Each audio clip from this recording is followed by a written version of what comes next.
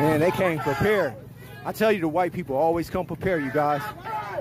These groups, whoever they are, I can't put no name on it, whether they're Antifas, I heard, I heard Proud Boys yesterday, they, they came with a goddamn U-Haul for war.